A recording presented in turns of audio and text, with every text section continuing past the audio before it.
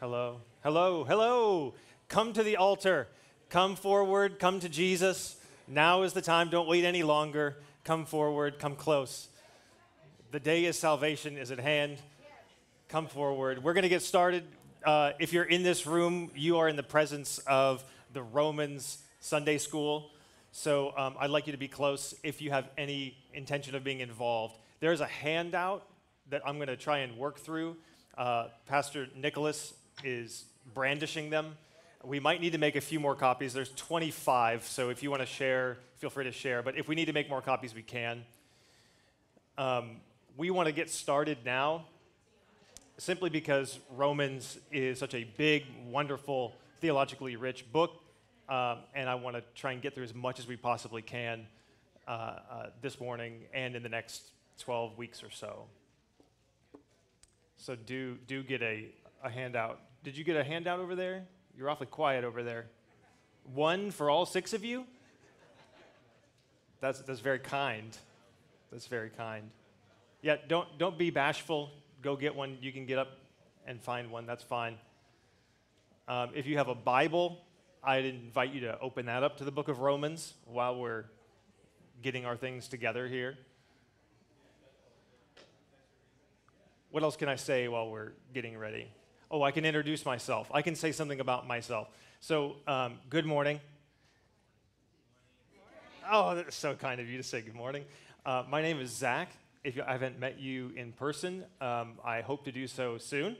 Um, uh, let me just say a couple words about why I'm teaching this. Feel free to just no, no pressure, no pressure.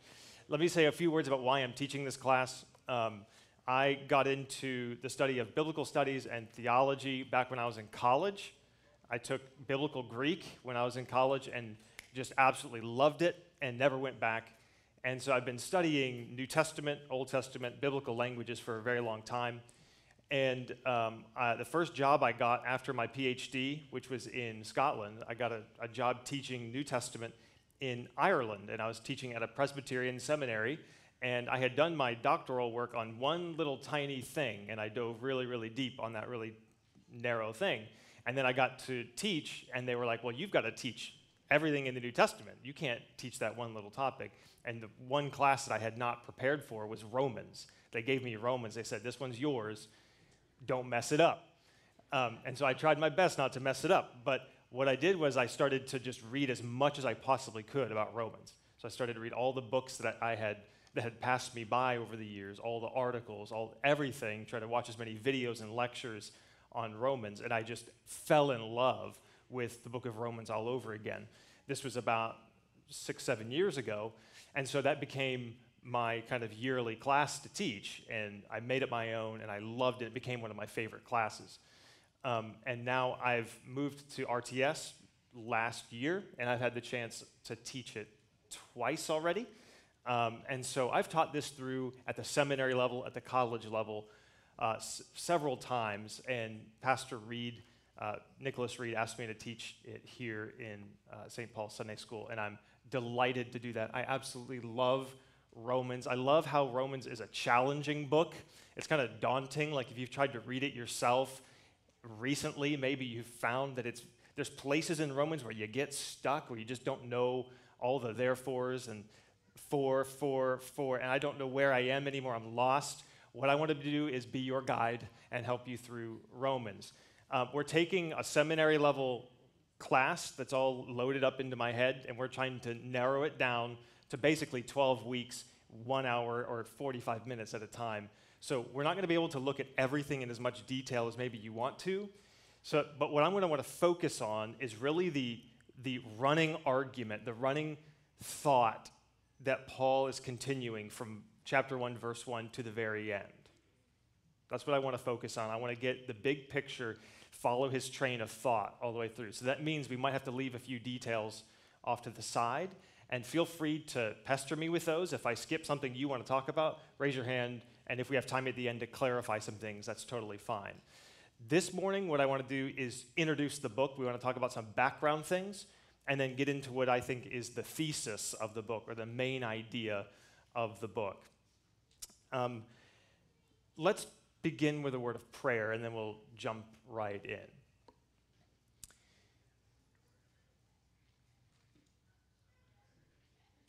Our Father in heaven, we do thank you that you are a God who speaks and that you have spoken in your Son, Jesus Christ.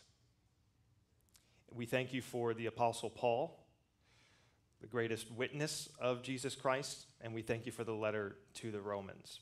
We thank you for the impact that this letter has had through church history, in the conversion of sinners, in bringing light to those in darkness, in giving hope to the hopeless, uh, for teaching us about Christ and all that He is for us. We pray, Lord, that this time this morning and this time uh, over the next 12 weeks would be a time where we can appreciate more deeply uh, the truth that we find in the gospel that Paul expounds for us in Romans. We pray that we would be focused and appreciative and thankful for the word that we have before us. Father, by your Holy Spirit, would you keep us attentive and grateful for every word that proceeds from your mouth? We pray in Jesus' name. Amen. Okay, so we're going to begin with the simple question of what kind of book is Romans? What kind of book is it? And many of us approach the book of Romans with uh, a misunderstanding or at least an unhelpful approach to the book because we approach it sometimes thinking that it's a systematic theology. Okay, we've only been in here for like two minutes and I've already said systematic theology. I apologize. But I've only brought it up to knock it down and get it out of your head. Romans is not a systematic theology. Now, no offense to anyone who likes systematic theology, no offense to any professional systematic theologians in the room. My boss is a systematic the- theologian, and he's right there. Romans is not a systematic theology. Now, what does that mean? That means that Paul did not set out in Romans to summarize everything there is to know about Christianity. Sometimes we approach the book of Romans that way.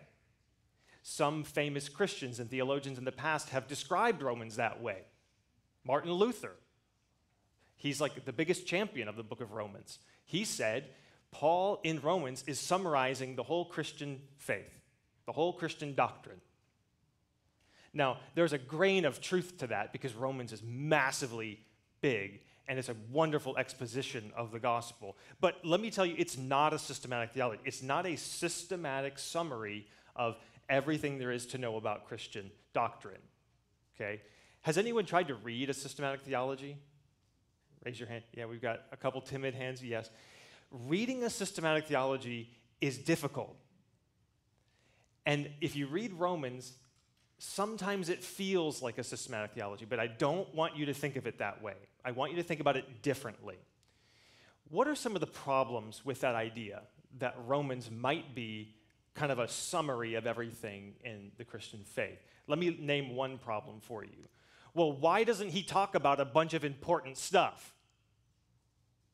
Right? So think about Romans, just we haven't talked all the way through it yet, but there's a lot of stuff missing from Romans if it's a systematic summary of everything there is to know.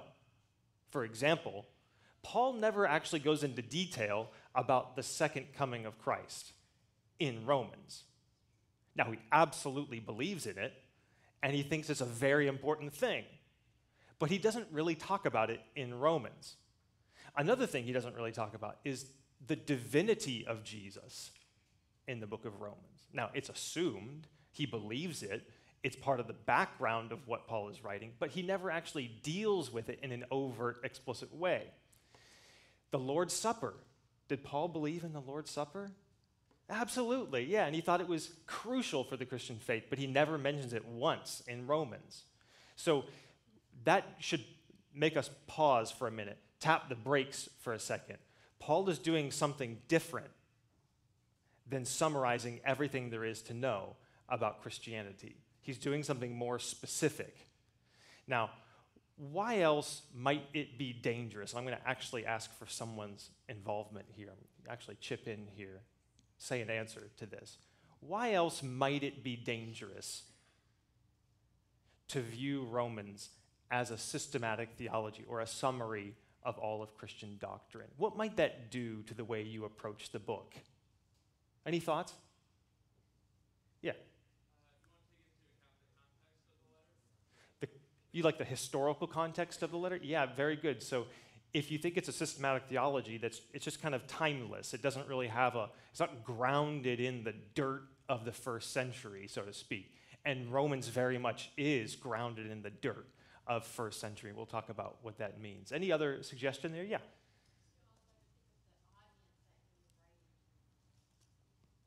That's exactly right. You've got to think about the audience.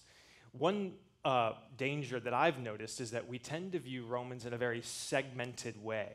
We don't see how chapter 5 relates to chapter 2, or chapter 8 relates to chapters 9 through 11.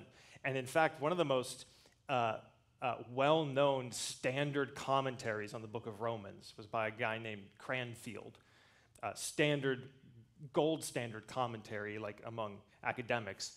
And he actually said, he actually said that Romans 9 through 11, chapters 9 through 11, are an appendix that Paul didn't know where to put. It was like really good stuff. It was a really good sermon, and he didn't know where to put them in Romans. So he's just like, well, this is as good a place as any, as any, right after chapter 8. That to me is insane. That's absurd. Um, Romans 9 through 11 are not an appendix, they are they are absolutely integrally related to Paul's whole argument from chapter 1. So if you think about it as here's a chapter on God, here's a chapter on Jesus, here's a chapter on the Holy Spirit, like a systematic theology would do, you don't see the organic connection all the way through. So one of the things I want to communicate to you and emphasize is that Paul has a train of thought, and it leaves the station in chapter 1. And if you don't hop on in chapter 1, you're going to be way left behind and you'll jump into chapter 7 and be like, I don't know what's going on. Or you'll, you'll misunderstand it, you'll misinterpret it. Chapters 9 through 11, just to use that illustration again, uh, is called by another commentator the climactic vindication of everything Paul was doing in chapters 1 through 8. I think that's more on target. If we're reading carefully and closely from chapters 1 and following, we will actually follow his train of thought, think his thoughts after him, because it's a consistent, coherent argument he's making from chapter 1. So that's my point in the handout uh, 1b. It's a letter. It's a letter written to specific people with specific problems, and he has a specific answer to their problems. And that answer is a consistent, coherent argument. Now, what is it? What's the argument I'm hearing you say? Well, I'm not going to tell you. Um, well, I will tell you, but just not right now. Hold on.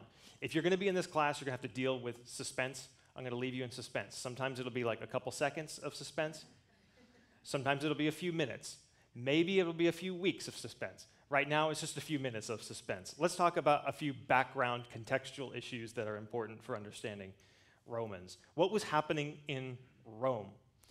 A really interesting thing happens uh, in 49 AD. In 49 AD, the Roman Emperor Claudius uh, issued an edict, or basically just this command, to expel all the Jews from Rome. Okay? Now, Christianity is already in Rome. Can you tell the difference if you're a Roman emperor between a Christian and a Jewish Christian? Probably not. And what happens is that Jewish Christians are expelled from Rome too. Turn to Acts chapter 18 real quick. This is one of those places where the Bible and Roman history line up perfectly. There's a Roman uh, historian called Suetonius, Suetonius who tells us precisely about this edict, and he says he expelled all the Jews from Rome. Acts chapter 18 lines up precisely with that. And you'll see some familiar names here. Uh, Acts chapter 18, verse 1.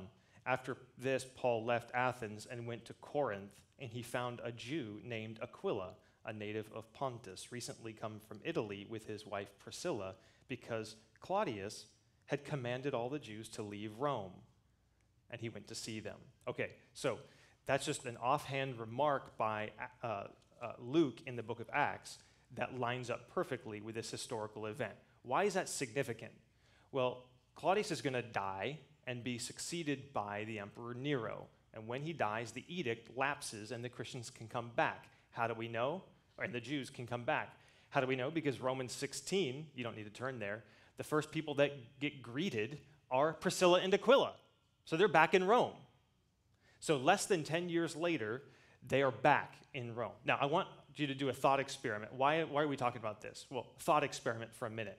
What if our church suddenly was ruptured and half of us were expelled from Orlando? And it happened to be a particular ethnic group suddenly removed from the church. You picture that for a minute? They're, they they're gone. The church is still going to meet. Those of us who are left behind, we're still going to meet. We're going to grow. We're probably going to find a new pastor, probably find a new set of elders, replace the ones that are lost. We're going to start developing our own style of doing things. Six, seven years later, the edict lapses, and then all the Jews come back. The second half of the congregation comes back. What's going to happen? You can tell me. What's going to happen? Confusion, division, misunderstanding. Like a misunderstanding right here. Excuse me, ma'am, you're in my pew. My family's been sitting in this pew for 25 years. You're not going to sit in my pew. Uh, I'm just kidding. Obviously, they don't have pews back then, but you get the point. Uh, excuse me, you're not the pastor of this congregation. Excuse me, that's my family to shepherd. So you can imagine all sorts of problems that are going to occur when Christians get separated and then are forced back together and have to get, get along with one another. Christians have a hard time as it is, uh, much less after developing their own ways of doing things and then coming back together. Now, am I just making this up? Well, let's look at a few key passages in Romans that actually reflect sort of the dynamics of a group that is divided, where there's jealousy, where there's strife going on. Um, I've listed a few references for you in uh, section 2.b. So, looking at Romans chapter 2, verses 1 through 3. And I'm just going to breeze through these real quick. Therefore, chapter 2, verse 3, therefore, you have no excuse, O man, every one of you who judges. For in passing judgment on another, you condemn yourself because the judge, uh, uh, because you yourself, because you, the judge, practice the very same things. Uh, press on. Look at 217. If you call yourself a Jew and rely on the law and boast in God and know his will and approve what is excellent, because you are instructed from the law, and if you are sure that you, are, you yourself are a guide to the blind, a light to those who are in darkness, an instructor of the foolish, a teacher of children, knowing in the law the embodiment of knowledge and truth, you then who teach others, do you not teach yourself? Okay, let's keep going on. What's the next one? 327. He says, Where is boasting. What becomes of boasting? So we've got judgment, condemnation, boasting. Press on to chapter 11, verse 17. Paul here likens the people of God to an olive tree, and he says branches were broken off. The unbelieving Jews were broken off. And so he says, But if some of the branches were broken off, and you, although a wild olive shoot, that is, you Gentiles, were grafted in among others and now share in the nourishing root of the olive tree. Do not be arrogant towards the branches. We've got judgment, condemnation, boasting, and arrogance. Look at chapter 12, verse 3. For by the grace given to me, I say to every one of you, not to think of himself more highly than he ought to think. Okay? And then the last one, chapter 14, verse 1. As for the one who is weak in faith, welcome him, but not to quarrel over opinions. One person believes he may eat anything, while the weak person eats only vegetables. Let not the one who eats despise the one who abstains, and let not the one who abstains pass judgment on the one who eats, for God has welcomed him. Okay, so you're getting the point here, right? The point is that in the Roman congregation, we have judgment, condemnation, quarreling, boasting, arrogance, pride. Okay? Maybe you never saw that emerge from the text of Romans, but it gives Romans a whole lot more color. That Romans is being written by Paul to deal with a congregation that are at odds with one another. And the lines of that division, the, the lines of the conflict, are clearly Jew Gentile, or at least related to that, because chapter 14, when he's talking about eating food or not or abstaining, these are kosher food laws that they're fighting over. And he named them explicitly in chapter 2. If you call yourself a Jew, don't you teach yourself when you claim to teach others? Let me give you just one last uh, reference that is great. Uh, the beginning of chapter 15, verse 2 Let each of us please his neighbor for his good, to build him up why? For Christ did not please himself, but as it is written, the reproaches of those who reproached you fell on me. For whatever was written in former days was written for our instruction, that through endurance and through the encouragement of the Scriptures we might have hope. May the God of endurance and encouragement grant you to live in such harmony. I love this.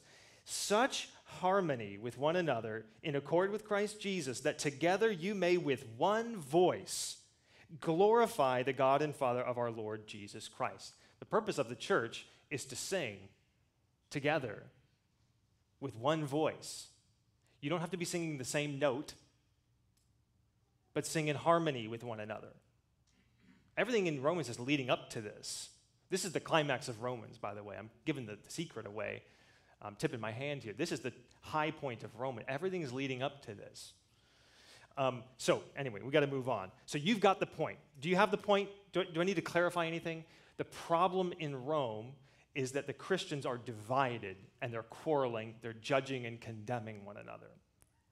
Okay, now stay in chapter 15 because that is where Paul actually starts to give some details about what's going on in his life. That's what's going on in Rome. What's going on in Rome? Fights, quarreling. What's going on in Paul's own ministry? Three cities. Uh, man, we need, to, we need to move. Three cities are mentioned in this passage that are relevant. And I won't be able to look in detail at all of these, but the first city to keep in mind is Jerusalem. Paul tells us in uh, 1522 and following, he's on his way to Jerusalem. He's at the end of his third missionary journey, and he is cruising towards Jerusalem and people are telling him, Don't go. They're going to arrest you. And he says, I've got to go. I've got to go. Why is he going to Jerusalem and why is he so intent on going to Jerusalem? Do you know why? The Jerusalem collection. You have listened to Pastor Justin. Pastor, this is like his favorite thing, and it's one of my favorite things too. The Jerusalem collection. It's like the best kept secret in the New Testament. It was the Apostle Paul's biggest project in his apostolic career.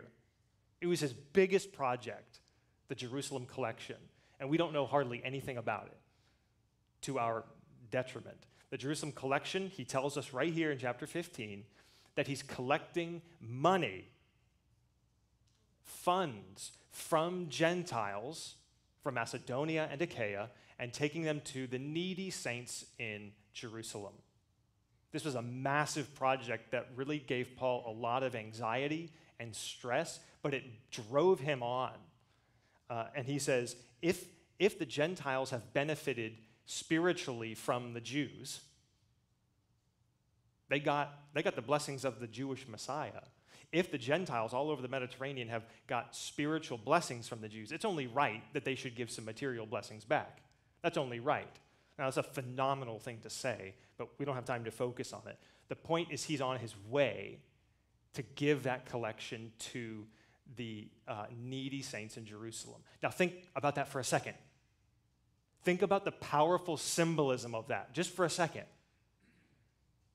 Are you saying that the problem in Rome is somehow related to the gift that Paul is giving in Jerusalem? Think about that. This is in one way, dirty Gentile money, isn't it?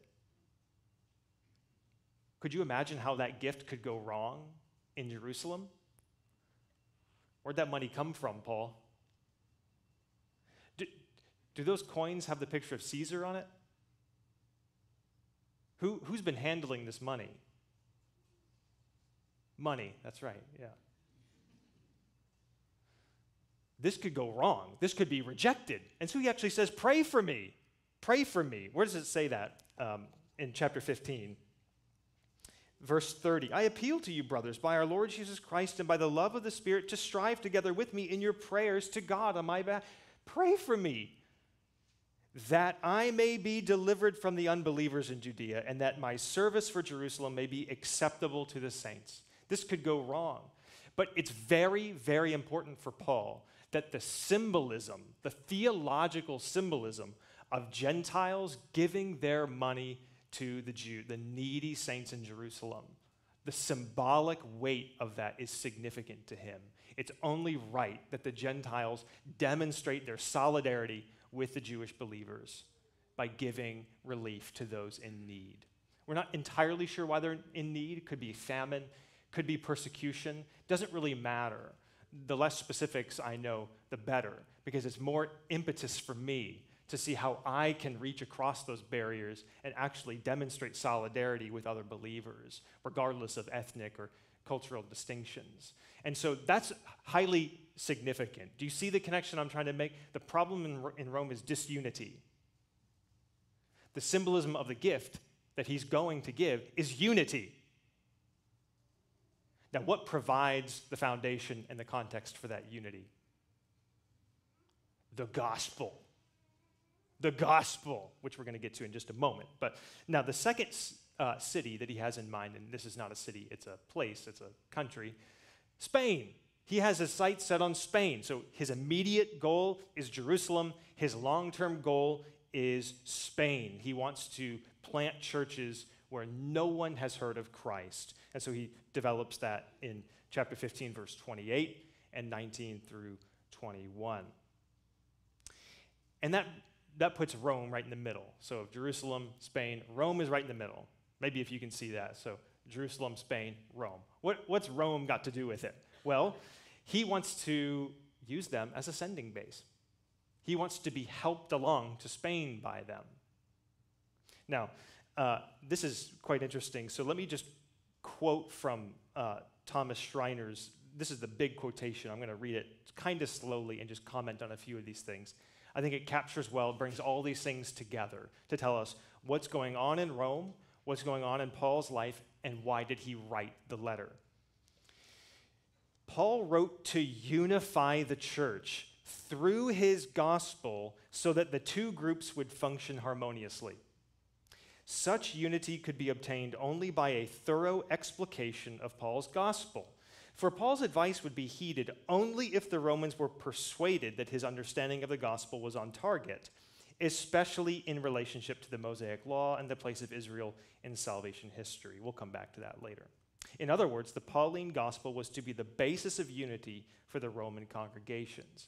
I would also add to that that the Pauline gospel is the only means of attaining unity. It's when you properly understand the gospel and the implications of the gospel that enables you to be unified. I'll, I'll explain what that means as we go, but Rome could spare, scarcely be the sending base if the churches were torn apart by strife nor would they wholeheartedly champion Paul's mission if they were uncertain about or disagreed with his theology. Thus, just as Paul had, had to set forth his teaching to resolve the disputes between Jews and Gentiles, so too his teaching had to be embraced for them to support his mission. I'll end the quote there and uh, give my summary. In other words, last line on the handout uh, of page one Paul wrote Romans to introduce the gospel that he preached and to secure the unified support of the divided Roman Christians. So, he's not giving us everything there is to know about Christian doctrine, he's giving us enough to be unified in the gospel, to be a sending base for his pioneer missionary work. Let me pause there before we get to the back of the handout and see if there's any questions for clarification.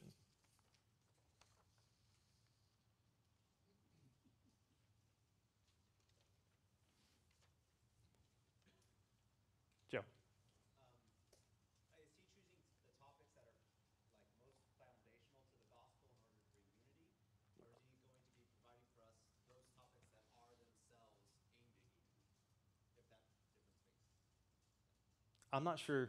Is it a summary of the gospel that unifies, or is it more like there's this topic of unity, and so I'm going to show you those points of theology Mhm. that you need for the sake of unity, whether or not they are the foundation of the gospel as a whole.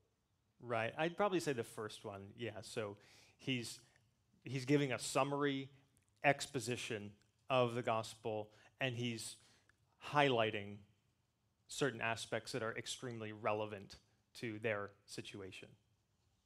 Yeah. Okay, let's go to the back of the handout. And this is way too much information to deal with in the next 15 minutes. It's 15 minutes, right? Whew. Awesome. I, I don't I think that's a surprise to everyone else.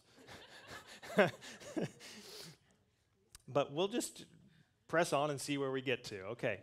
So, what is the train of thought that leaves the station in chapter 1 and pushes on uh, to the end and how can we get on board? Well, the first thing we got to do is go back to chapter 1 and look at what is the thesis statement. This is the this is the core foundational statement that everything is going to be unpacking and expositing. Chapter 1 verse 16 through 17. Uh, well, it begins with for, so we've got to read the previous verse. Sorry. Uh, it also begins with a conjunction. So let's go back up to verse 14. Verse 14 I am under obligation both to Greeks and to barbarians, both to the wise and to the foolish. So I am eager to preach the gospel to you also who are in Rome. Okay, just pause there. Um, you know, like only Paul can get away with this. Like he doesn't say, I want to preach the gospel to you because I love you. He says, I'm under obligation. I've got to. I'm obligated.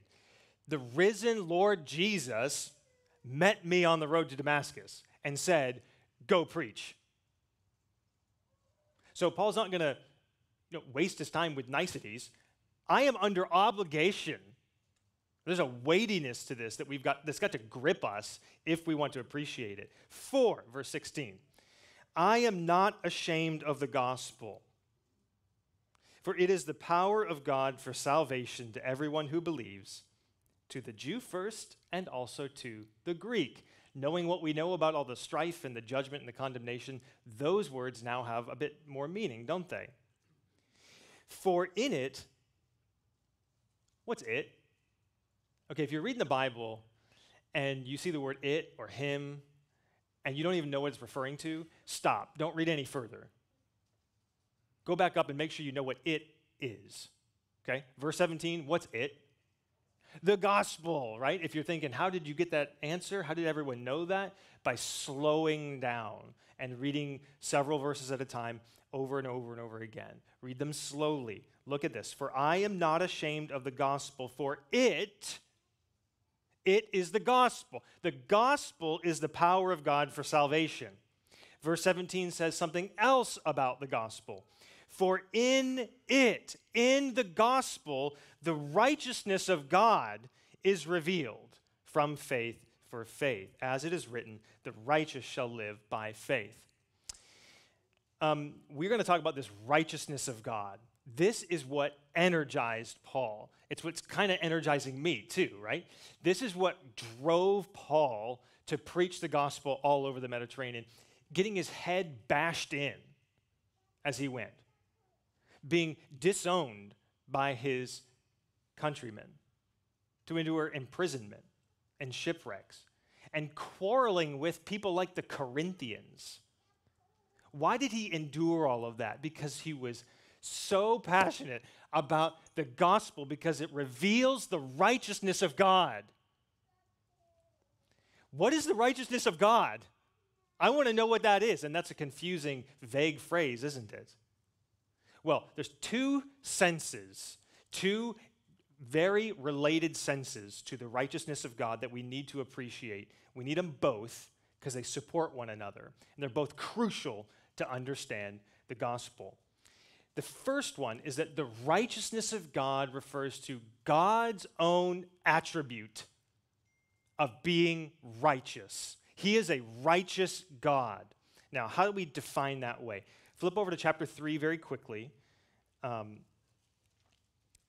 I've given you a few references to where that sense of the righteousness of God comes out clearly. Chapter 3, verse 5. And again, let's just back up a couple verses. Uh, verse 3 What if some were unfaithful? Does their faithlessness nullify the faithfulness of God? By no means. Let God be true, though everyone were a liar, as it is written, that you, you God, may be justified in your words and prevail when you are judged. That's a quote from Psalm 51, which is where David committed adultery. And then this is his psalm of penitence saying, You are right, you are true, I am a liar, I am unrighteous. Verse 5 But if our unrighteousness serves to show the righteousness of God, what shall we say? That God is unrighteous to inflict wrath? I speak in a human way by no means. Stop there. The entire point of reading that is simply to say that when Paul says the righteousness of God, it has one clear, distinct sense of God's attribute of being righteous. He is a righteous God. He is upright. He is true. He stands by his word. He does what he promised, and he therefore is the kind of God you can trust. Why is that significant? That's huge. That is foundational stuff. Because if God is not righteous, we have a big problem. Look at another verse. This is interesting. Chapter 3, verse 25. He's talking about the cross. Uh, beginning in verse 23 For all have sinned and fall short of the glory of God and are justified by his grace as a gift through the redemption that is in Christ Jesus, whom God put forward as a propitiation by his blood. So that means it's bearing the wrath of God uh, by his blood on the cross, by the death of Christ, to be received by faith. Look at this in the middle of verse 25. This was to show God's love. What did the cross show? God's righteousness. Now, it does show his love. We'll get there in chapter 5. But here, the point is that the cross shows God is righteous. How so? Well, previously, he passed over sins. See that? Verse 25. This was to show God's righteousness because in his divine forbearance, he had passed over former sins. If the blood of bulls and goats can never take away sins, what was God doing in the Old Testament? He was passing over sin. Does God eternally pass over sin? That would make him an unrighteous God. So, the punishment, the wrath of God on the cross that we see poured out on Christ is a demonstration God upholds what is right. Because the gospel has forgiveness for sins in it, does not mean God does not take account of our sin. He, he knows every jot and tittle of our sin, every single detail because it was poured out on Christ. But that makes him a just God. And Paul is saying that the gospel reveals the justice and righteousness of God. The gospel reveals it. There was a time when I was a boy um, where I saw my dad chopping wood. Okay, now, my dad doesn't look like me, he actually has muscles. He's physically imposing. And even though I grew up in Florida, he chopped wood all the time. Can't have a fire, but we can chop wood. So we have stacks of wood just, you know, out in the back. Never going to burn it for anything, but he can chop. I mean, I remember seeing him chop wood, and my eyes just went. Poof. I knew he was strong. I had tried to wrestle him before, right? I knew he was strong, but there was a moment in history in which his strength was revealed to me. See what I'm saying? There was a moment where I saw the reality of what I always knew was true. It broke into history, so to speak, for me. What Paul is saying is that in the gospel, it is a historical moment where the heavens were pulled back. They were ripped open. And God demonstrated his righteous character. That's really, really important that we grasp that. Because God is the kind of God who makes promises, isn't he? The Old Testament is full of them promises, promises, predictions. I'm going to do this. I'm going to be this for you. This is going to happen. I'm going to do this. Read the prophets, read the Pentateuch. Um, Paul says there was a day, there was a day when all of that came true, where God proved he keeps his promises. That day is the ministry of Jesus Christ. The gospel demonstrates, reveals, shows to us what we knew was true, but now it has come into reality, into space time. God has demonstrated his righteousness, that he, practically speaking, is the kind of God you can trust. Okay, that's only half the story, though. Because if God is just and righteous, that's really bad news for you and me. Because if God does what he says he's going to do, I'm smoked. I'm done. I'm done. I don't have a snowball's chance in Central Florida. I'm done because I know what goes on in my own heart. If God is upright and he doesn't bend toward evil, he doesn't take a bribe, he doesn't pervert justice, he executes right judgments. That's what righteousness is. He is a just judge. If he does that, I'm in big, big trouble. And I don't want the righteousness of God. And that's what Martin Luther, the famous reformer, uh, said. If you read his, the preface to his uh, collected writings, he says, I hated the righteousness of God. If it wasn't enough for God to make me human and make me inherit guilt and sin from Adam and just be a terribly miserable sinner, if it wasn't enough for him to do that, now he's going to hang over my head the fact that he's a just judge? That's not fair. And so, to his credit, he says, So I, I badgered the Apostle Paul at Romans 1:17. You ever notice? If you've read that passage, it's great. I badgered the Apostle Paul. I pestered him. I went back and back and back to read. What is Paul saying? You know, like just a practical lesson there is so many of us, we get tripped up and then we're like, well, I'm not going to read that again. I don't understand it. It took me like five minutes and I don't get it yet, so I'm done. But Luther is tripped up by it. He's so angry about it. He goes back to it and back to it and back. He badgers the Apostle Paul. Can you actually say you've ever badgered the Apostle Paul? Are you too holy for that? Have you badgered the scripture? And then it opens his eyes. He sees the context of actually what's happening here, which I'm going to get to in a moment. Suspense. And he says, The gates of paradise open for me. And then I basked in the beauty and the glory of the righteousness of God. And then what do you have? The Protestant Reformation and eventually Presbyterianism. So, because of Paul, Luther's reluctance to give up, we have inherited so much. And that should be just a little bit of more motivation this week, next week, when you're trying to understand something, you're like, I'm just baffled by this. Well, I'll close my Bible and let Zach tell me later. No, badger the scripture.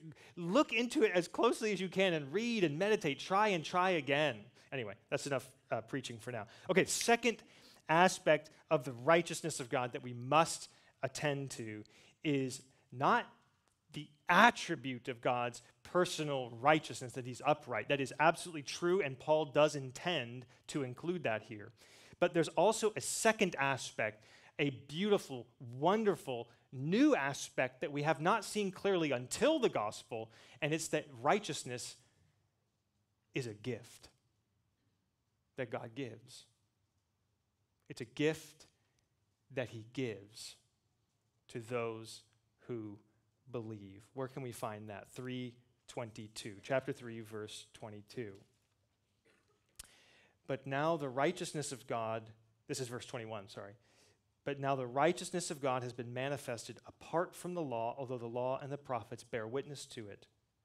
The righteousness of God through faith in Jesus Christ for all who believe. For there is no distinction, for all have sinned and fall short of the glory of God. And, verse 24, and are justified by his grace as a gift. Look over at chapter 5, verse 17. For if because of the one man's trespass death reigned through that one man, much more will those who receive the abundance of grace and the free gift of righteousness reign in life through the one man, Jesus Christ. The last one to point to is chapter 10, verse 3 the last place where we see clearly that righteousness is not simply God's character, but his gift. 10 3. For being ignorant, he's talking about the unbelieving Jews, ignorant of the righteousness of God, and seeking to establish their own, they did not submit to God's righteousness. So you can see there that's what's being opposed is God's righteousness that they've rejected and they want to establish their own. Okay? So in those three passages, we see clearly that righteousness is not simply God's character, it's a gift. This is the moment that Luther has where he says, I understand the gospel now. I understand the gospel now. And it changed everything for him. So God's righteousness is not simply his character, it's a gift that he gives in Christ. And if you can get that, that's huge. It's a massive, massive concept that's going to help you understand Romans. Actually, both of those senses, they are, um, they need one another. Both, they're two sides of the same coin. They need one another. We don't want to have a God who gives us his righteousness, but himself is not righteous. Why would we not want that? Who forgives sins and makes people righteous and declares them righteous, but himself is not upright. Why would that be bad? It'd make him a hypocrite, yeah, yeah. Heaven would be hell. Heaven would be hell, yeah. It would mean we don't live in a moral universe. It would mean he doesn't hold people accountable for their sin. It would mean that there are men and women who have done terrible, hor- there's the devil who would not be held accountable. We don't want that. But we also don't want a God who is upright, who doesn't actually bestow that on anyone else. Because we saw earlier, that would mean we're, we're done for, we're toast.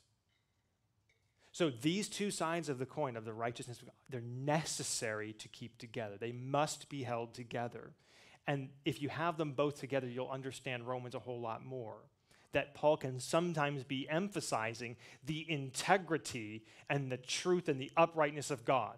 He does that a lot in Romans.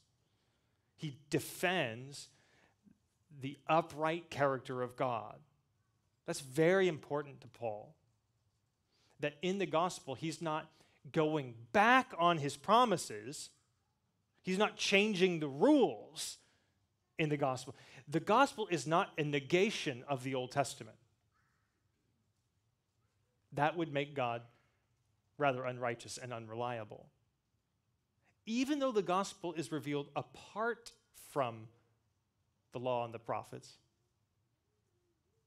it's in accordance with them.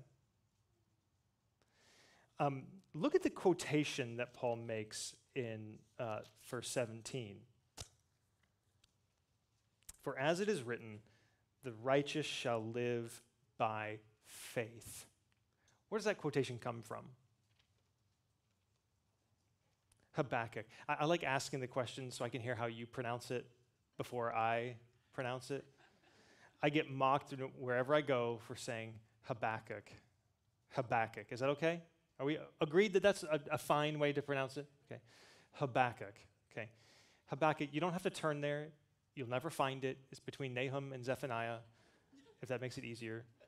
What's Habakkuk about? Habakkuk begins with words that you didn't know Christians were allowed to say. God, where are you? God, are you sleeping?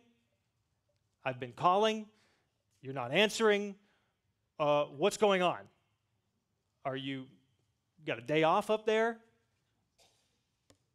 Habakkuk is rather angry and rather forward with God, the God of the universe, by the way, who had made promises to Israel. And those promises looked like they were worthless because the, uh, the nation of Israel was absolutely surrounded and was about to be creamed by foreign armies. Where are you, God? Show up. At stake in the book of Habakkuk, Habakkuk, at stake in that book is the righteousness of God. Isn't that really interesting? The prophet says, Where are you? Do what you said you're good at doing, judging sin and protecting Israel. Why aren't you doing that? But really, really interesting is the additional aspect that now the quotation itself that Paul makes talks about righteousness in the other way. Did you notice that? The quotation comes from the part where God says to Habakkuk, Well, wait for it. The oracle will come. The day will come when I do actually step in. Wait for it. The one who is puffed up in heart, forget about him. The righteous one will live by faith. That is the one who trusts that God is actually going to do what he said he's going to do. Isn't that really interesting? That Habakkuk has both sides of the righteousness of God, just like Romans does, where at stake is the question is God worthy to be trusted? Have you ever asked that question? Have your family members ever asked that question? The prophet Habakkuk has asked that question. Paul deals with that question over and over and over again. Can God be trusted? Is he righteous? And the prophet, we learn, yes.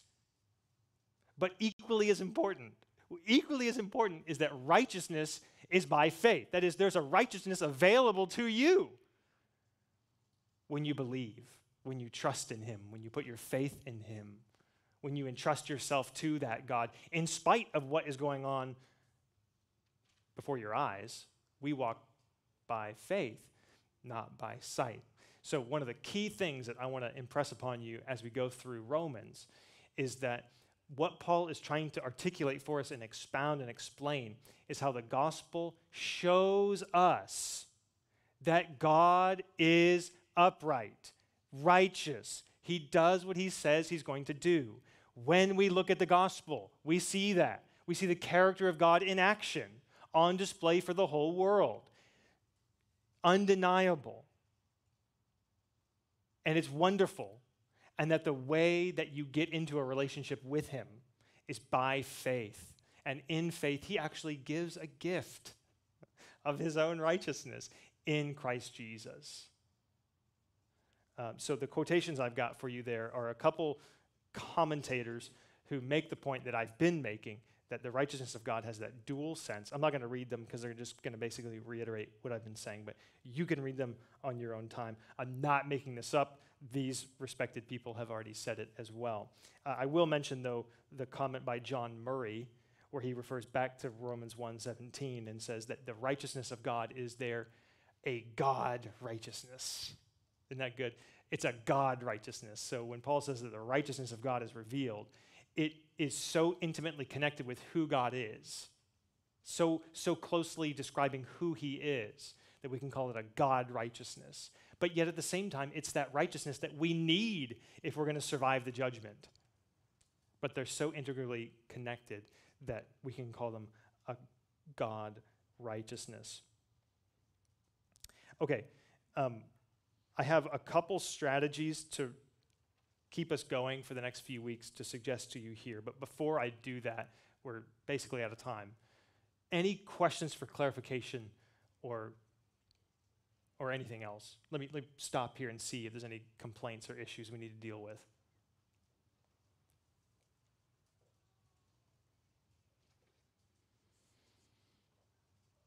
I have a hard time believing there's no questions. Yes, sir.